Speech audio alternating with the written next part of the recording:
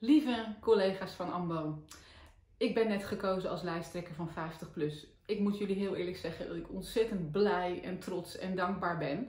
Want ik heb daar ook ontzettend veel zin in. Maar het laat me ook wel realiseren dat het bij AMBO dan dus echt gewoon ja, bijna afgelopen is.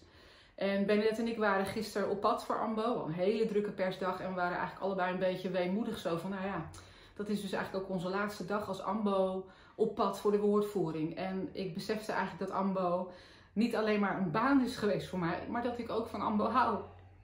En dat ik ook van jullie hou. We hebben samen zoveel meegemaakt. Ehm, maar we hebben ervoor gezorgd met elkaar dat AMBO een grote, mooie, stevige, gezonde organisatie is die nog verder kan groeien. Want er is enorm potentieel, niet alleen voor 50 plus, maar ook om nieuwe leden te winnen voor AMBO. Uh, AMBO blijft altijd in mijn hart en jullie ook. Want eigenlijk is het niet zo dat ik AMBO ben, maar wij zijn met elkaar AMBO. En jullie zijn voornamelijk AMBO. Medewerkers, de vrijwilligers. Um, want jullie zijn het fundament. En ik heb er heel veel vertrouwen in dat jullie doorgaan met het goede werk. Dat we een goede opvolger gaan zoeken. Jullie zijn nog niet helemaal van me af. Ik, uh, ik blijf nog tot het einde van het jaar. Uh, dus ik, ga jullie, zie jullie gewoon maandag weer op kantoor.